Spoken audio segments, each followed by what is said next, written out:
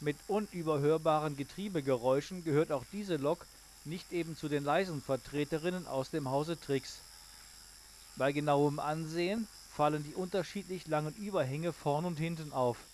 Die sind allerdings nicht auf eine freie Schöpfung der Trix Entwicklungsabteilung zurückzuführen, sondern sind auch im Vorbild so.